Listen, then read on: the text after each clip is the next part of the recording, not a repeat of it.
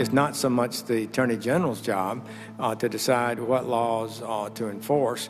Uh, we should do our job and enforce laws effectively as we're able. Would you use our federal resources to investigate and prosecute sick people who are using marijuana in accordance with their state laws, even though it might violate federal law? I won't commit to never enforcing federal law, Senator Leahy. Using good judgment about how to handle these cases will be a responsibility of mine. I know it won't be an easy decision, but I will try to do my duty in a fair and just way.